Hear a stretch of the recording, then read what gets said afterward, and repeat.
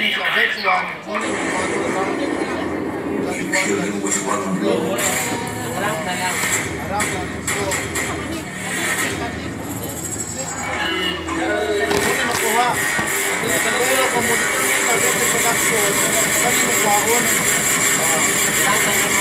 Ito bigak ko sa mga Ito ang mga naman eh.